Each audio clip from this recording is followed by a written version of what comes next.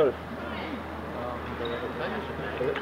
Jóhann, uh, svekkjandi tap hérna, uh, sérstaklega í ljósið þess að það var nú markalaust eftir, eftir fyrirálíki. Já, það þarf að spila 90 myndir.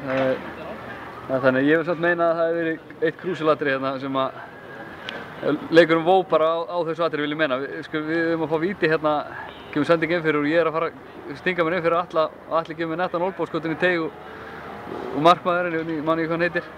Hann, hann bakka bara á línuna þannig að hann er ekkert að koma út á mútið boltanum. Og í staðin fyrir, sagt, er ég farin út af hérna með sprungna vöru og, og þeir fyrir upp og skora.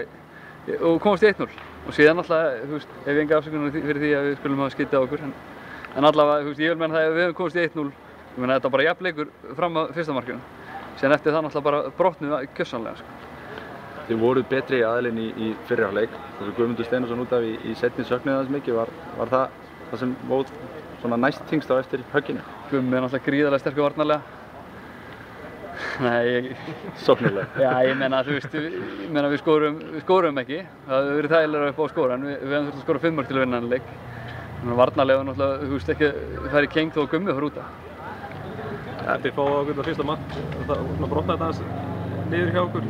Já, Hvað gerist? Já, við fáum náttúrulega bara 1-0 og svo bara, ég veit ekki, hvað er þrjálmyndu búin að setja, það komið 2-0, þannig að fáum við rauninni bara 2 mörg á okkur í alveg í byrjun setnáleik sko og það er náttúrulega, þú veist, er erfitt og maður reynir að koma tilbaka en þú veist, þetta er bara, þú veist, það fór bara illa og hefði getið að vera miklu verð og þú veist, versta við þetta er það, þú veist, við verðum bara að hafa svona hengt haus og bara gefust upp eiginlega, þú veist, það er náttúrulega bara, bara ekki hægt sko. Það er ekki líkt ykkur?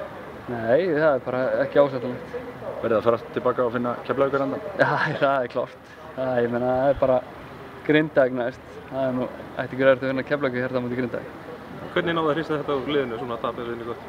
Það er bara, þú veist, aðeins morgun og fara yfir þetta og svo reynum að, náttúrulega komum við fyrir það sem við gerum ekki vel í dag og, og vinna út úr sem, en þetta er náttúrulega ekki í fyrsta skil sem að tapa stórt, ég menna, þú veist, við vinnum okkur út úr þessu.